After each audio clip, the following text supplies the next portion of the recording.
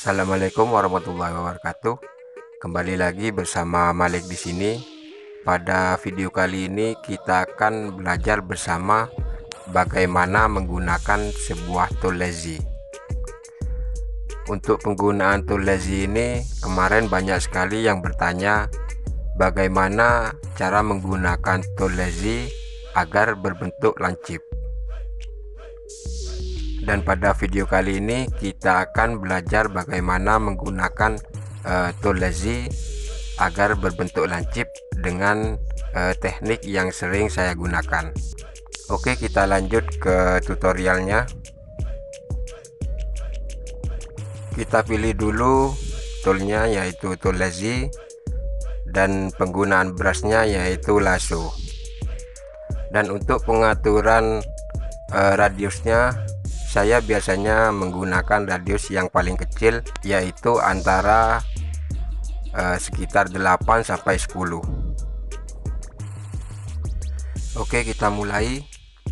Untuk penggunaan tool lazy ini agar hasilnya berbentuk lancip seperti ini kalian untuk tarikan pertama jangan ragu untuk menarik toolnya. Jadi tarikan pertama kalian uh, gak usah ragu-ragu untuk menariknya. Setelah kalian sampai pada ujung yang akan dilancipkan kalian hentakkan di situ. Kemudian kalian lakukan tekanan ke arah dalam. Untuk kalian yang mau e, menggunakan tolezi agar hasilnya berbentuk lancip misal kita menariknya dari arah kiri tarikan pertama kalian tarik saja toolnya. Kemudian pada uh, area yang ingin dilancipkan kalian lakukan hentakan di situ. Kemudian setelah sampai pada ujung yang dilancipkan kalian uh, lakukan tekanan ke area dalam. Oke kita coba uh, menggunakan sebuah bahan. Kita coba membuat beberapa bulu pada hewan ini dengan menggunakan lazy dan kita akan membuat bentuk uh, tarikan dari lazy-nya nanti berbentuk lancip. Tarikan pertama kalian tarik saja toolnya kemudian pada ujung yang akan dilancipkan kalian hentakkan di situ kemudian setelah menghentakkan pada ujung yang dilancipkan kalian lakukan tekanan ke area dalam kita coba lagi. Kita tarik saja tidak usah ragu-ragu. Dari ujung kiri ke atas ini.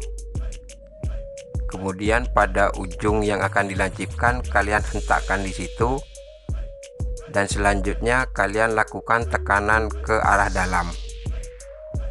Nah seperti ini.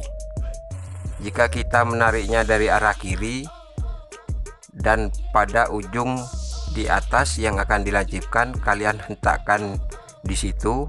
Kemudian selanjutnya kalian uh, lakukan tekanan ke bawah dengan melakukan tekanan ke area kiri.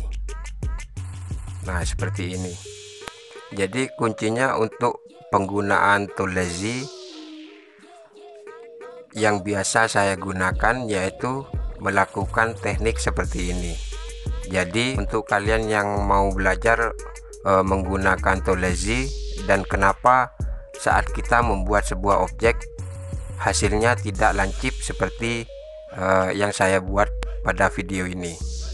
Jadi tip untuk kalian yang sering saya gunakan teknik yang sering saya gunakan yaitu pada tarikan pertama kalian tarik saja uh, toolnya tidak usah ragu-ragu dan pada uh, ujung yang akan kalian lancipkan kalian hentakkan di situ. Selanjutnya kalian lakukan tekanan ke area dalam. Jadi kalau dari arah kiri arah kiri bawah kalian tarik ke atas. Jadi kalian tarik ke atas eh, pada area kanan. Setelah itu kalian lakukan tekanan ke bawah dengan melakukan tekanan ke arah kiri. Mungkin sampai di sini saja. Semoga kalian bisa memahami uh, teknik yang sering saya gunakan saat saya menggunakan tool lazy ini. Terima kasih semoga video kali ini bermanfaat buat kalian semua. Wassalamualaikum warahmatullahi wabarakatuh